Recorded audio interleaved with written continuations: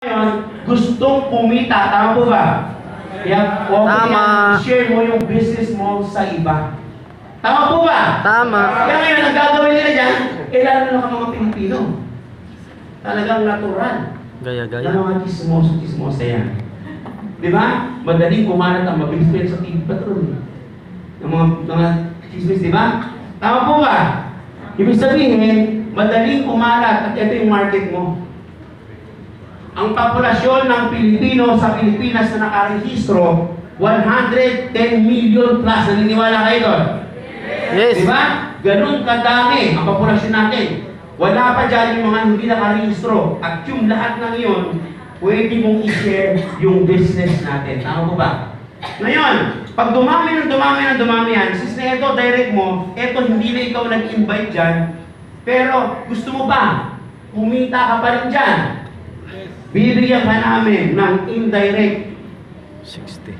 referral bonus na 60 pesos. 60, 60, 60, 60, 60, 60, 60, 60. Up to 10 level. Wala ka nang ginagawa. May dalawang nag-pay, may dalawang nag-register sa ilalim mo na hindi mo alam. May 120 ka. Okay lang ba? Libre na load mo? Yes! Yes, di ba? Oh, ngayon, ang maganda dyan, siyempre sabi mo ngayon, aba, kumikita ang negosyo na to sa pag-share ng business. Kaya ngayon, yung friend A ko, na-invite ko na, i-invite ko naman ulit si friend B ko.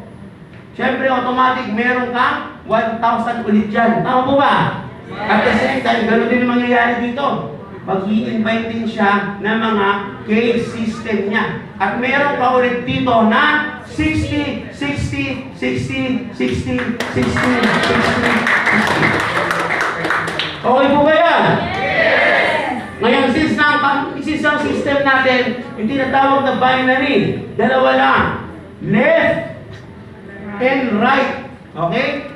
Pag nag-register ka dito o nag-encode ka ng mga kilala mo, at ganoon din sila sa isang line mo, pag meron kang left and right, okay, uulitin ko ha, ang system mo nahahati sa dalawa, sa left at saka sa right. Ulitin nyo nga, left, Left. right, Right. left, Left. Right. Left, right, left. Okay. Nakakuha niyo na ba? Okay. Ito naman, mathematics to. 1 plus 1. Yung mali. Eleven.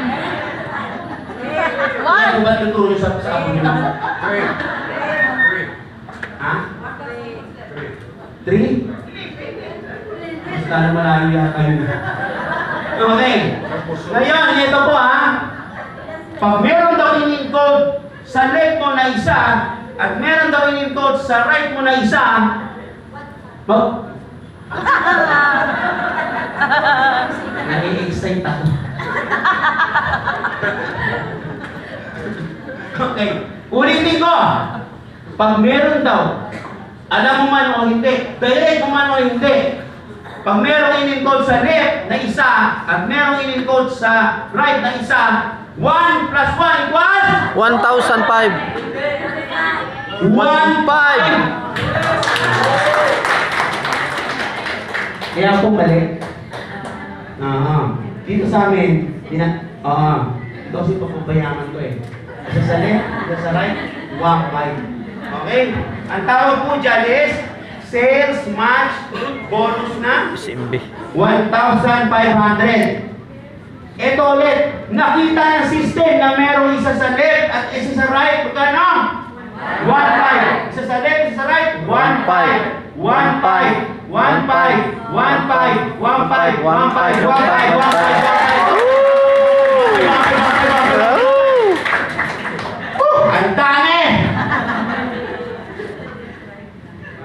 Hanggang saan?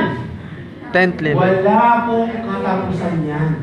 Until infinity. Di ba?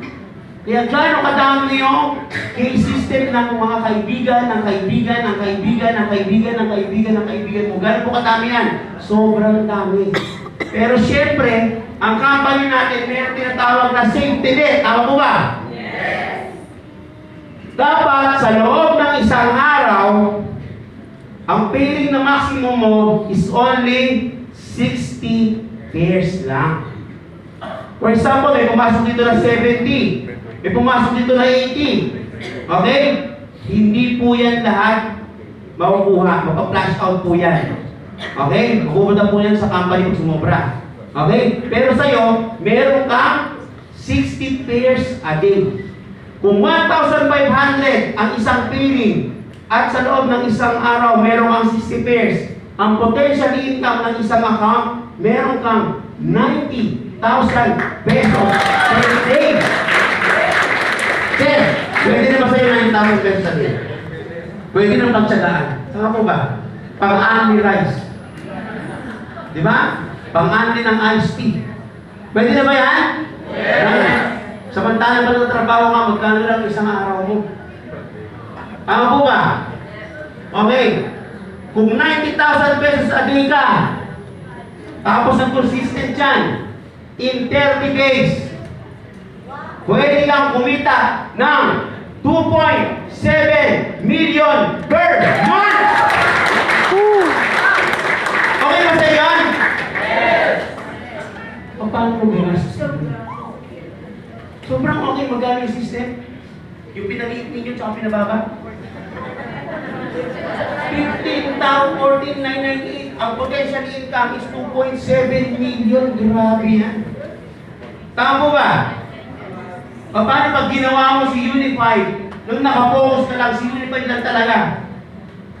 Tapos in 3 man, in 3 years time, na perfect mo yung ano talaga, yung structure, yung network mo, yung business mo. Okay lang ba balbal kumikita ka ng 2.7 million? Yes! In 10 months time, in 10 months pa lang, meron ka ng 27 million. Kuha pangarap. Ngayon, ang tanong ko sa'yo, Kuha ang pangarap. magkano yung pangarap mo kanina? 23. Nakuha mo ba? Nakuha. Sobra pa. May sukli ka ba? May su- Tama mo ba? Tama. Tingnan mo. Nahihirapan tayo kanina mag-compute. Samantalang dito, ito na pala gagawin natin. Isishare mo lang ang business. 2.7 million kada isang buwan. Ayan po yung potential income ng account na meron kami sinishare sa'yo yung ika siya kami aparpakan po natin yan. Okay? Ang pinakamaganda dito yung pang-apat na din pinapabulito ko dito. Bakit? Kasi yung lahat ng pinaghihirapan ko dito, yung lahat ng mga ginagawa ko dito, lahat ng sakripisyo ko, ang maganda nito, kahit wala na ako, meron sasabog. Dati ba tayo yung mahal sa buhay? Yes. Di ba? Pwede ko natin iiwan yung lahat ng pinaghirapan natin sa mga mahal sa buhay. Tama ba? Kasi bakit ka mo? Sa lahat ng community mo na under ng organization mo, up to 10 level, meron niya residual income bonus. Okay? Residual income bonus. Ano to? Ito yung passive income na kahit wala ka nang ginagawa, kumikita ka. Ba't nakatangin kayo? Passive income. Okay, pa paano yun? Yung pinasok mo ngayon, may pinasok na mayroon siyang may pinasok, pinasok, bumili ng system, bumili ng system, bumili ng system. Ngayon, ang tanong ko sa'yo, kilala mo ba to? Hindi. Hindi na. Pero siyempre ito, nakakonect sa'yo yan, naka-network sa'yo yan, meron din siyang ika-siya account, tama ba? Yes. Gagamitin niya ba yung system niya? Yes. Yes, di ba? Paano pag itong, sis- itong tao na to, nag-book ng ticket domestic, okay lang ba? Hindi mo alam, hindi mo kakilala. Pag nag-book ng ticket, okay lang ba? Meron kang 10 pesos. Wala kang ginagawa. Ano? Nag-book siya ng ticket. Nagulat pa ngayon yung inas mo, ha? May 10 pesos. Wala kang ginagawa. Paano pag bumalik pa siya? Paano pag lima pa? Di ba? Paano pag, isa pa lang to ah, paano pag lahat sila? Okay po ba yan? Paano pag binok nila international, meron kang 25 pesos naman dyan. Per week, per person. Pag nag-insurance siya, may piso ka. Pag nagbayad, pag nagrimitan siya, may piso ka. Pag nagbayad ng bills, meron kang 50 cents. Okay po ba yun?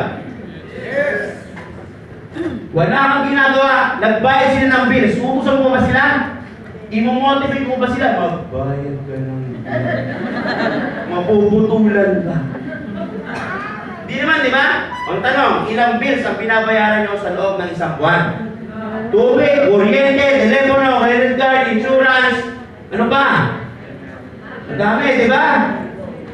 Magbayad lang sila ng bills na hindi, hindi mo inuutusan. May piso ka.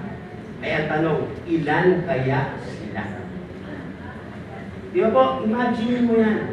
Na once na magkaroon ka ng e-cash account, ito yung pwede mong pagkakitaan. Pwede kang kumita sa remittance. Ulitin ko ha, kung nagkaroon ka ng e-cash account na halagang 14,998, ito ang pwede mong kitain.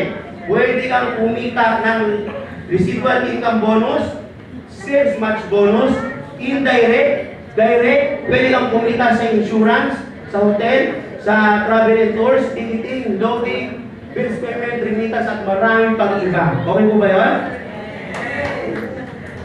Kailangan ko babalang pa. Nakakapagod kaya ang salita. Ang sakit sa lalamunan sa dali. Pero pa nga.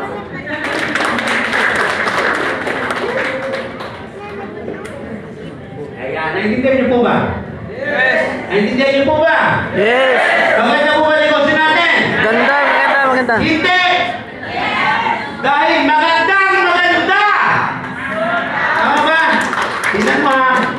14,998 mo, ito yung pwede mo pagkakitaan lahat. Ito ang pwede mo mapunta sa'yo. Sa Binigyan ka lang po namin ng Wala pa sa discount. products. Mga Diba, products. 15 15,000 kanina yan. May order na yan, sa akin. Ayan na po. Okay? Ngayon, Ooh, may question. O mamaya babalik po ako. Okay? Pero bago po yun, may tatawagin. Okay na po ba yung tatawagin ako isa pa? Na pwede mo matutuwa dito. Okay po ba? Okay. Nasa may... Sino? Huh?